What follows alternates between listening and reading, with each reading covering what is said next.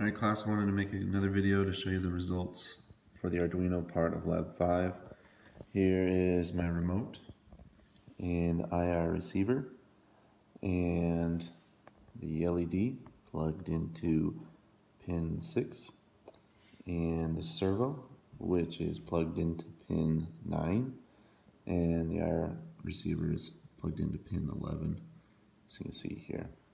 Uh, when I take the remote and enter value 0 you can see it returns the code and the number. You go 1 oh sorry 1 2 3 4 5 6 7 8 9 and if we go back to 0 you can see how the LED changes and the servo changes with position. So here's 0 then 1 2 3 4 5 six, seven, eight, nine.